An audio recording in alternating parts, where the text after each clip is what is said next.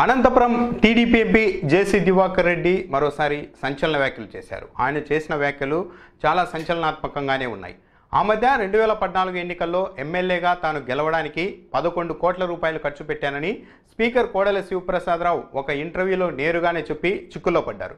ఇప్పుడు జేసీ దివాకర్ రెడ్డి కూడా ఇటీవల ఎన్నికల్లో తాము ఖర్చు చేసిన కోట్లాది రూపాయల గురించి ఆయన బయటపెట్టారు రాయలసీమలో ఒక నియోజకవర్గంలో తినడానికి తిండి కూడా లేని నా కొడుకులు తమను ఐదు వేల రూపాయలు ఓటుకు డిమాండ్ చేశారని జేసీ దివాకర్ రెడ్డి మీడియా సమావేశంలోనే ఆగ్రహం వ్యక్తం చేశారు.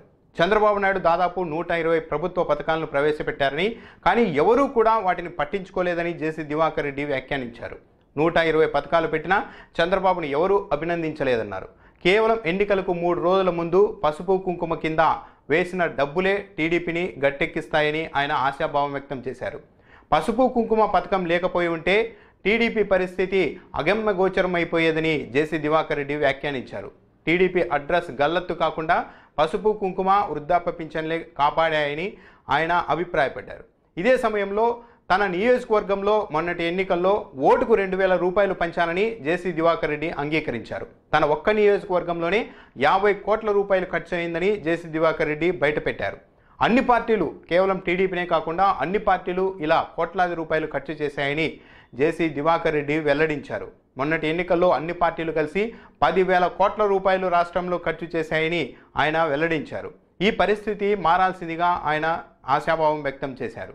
ఇలాగే పోతే పరిస్థితి ఈ ఎన్నికల్లో ఓటుకు రెండు వేలు పంచామని వచ్చే ఎన్నికల్లో ఐదు వేల రూపాయలు పంచాల్సి ఉంటుందని జేసీ దివాకర్ రెడ్డి ఆందోళన వ్యక్తం చేశారు.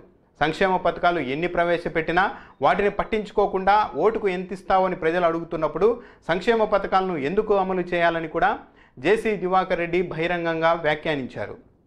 ఒక్క పసుపు కుంకుమ పథకం లేకపోయి ఉండింటే టీడీపీ పరిస్థితి ఏమయ్యేదో దేవుడికే ఎరుక అని జేసీ దివాకర్ రెడ్డి వ్యాఖ్యానించారు.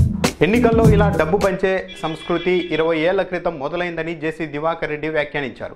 తాము ఎన్నికల్లో ఓటుకు రెండు వేల చొప్పున కోట్లాది రూపాయలు పంచామని ఈ సొమ్మంతా రాజకీయ నాయకులు అవినీతి చేసి సంపాదించినదేనని జేసీ దివాకర్ రెడ్డి అంగీకరించారు. మొత్తం మీద అధికార పార్టీకి చెందిన ఒక ఎంపీ నేరుగా బయటకు మీడియా సమావే మీడియా సమావేశం వేదికగా తాను ఓటుకు రెండు వేలు ఇచ్చినట్లు అంగీకరించడం తన నియోజకవర్గంలోనే యాభై కోట్ల రూపాయలు ఖర్చు చేశానని మీడియా ముఖంగా జేసీ దివాకర్ రెడ్డి అంగీకరించిన నేపథ్యంలో ఎన్నికల కమిషన్ స్పందిస్తుందా చర్యలు తీసుకుంటుందా లేకుంటే లైట్ తీసుకుంటుందా అన్నది చూడాలి.